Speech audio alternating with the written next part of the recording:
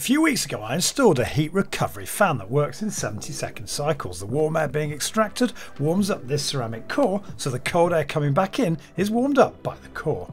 They make some pretty bold heat recovery claims and whilst I ran some thermal imaging tests when I did my long form video, you made the point we wouldn't know how good it was until the temperature got a lot colder. And today it is that chilly so I thought I'd rerun the test to see just how good this fan is. When you start pointing these cameras around your home the results are pretty scary. So what have we got? Well, the air in the kitchen is 22 degrees and during the exhaust phase, the ceramic core goes from 16 to about 20 as the warm kitchen air gradually heats the core up. Then we're into the interesting bit where the fan motor reverses and starts sucking air in from outside.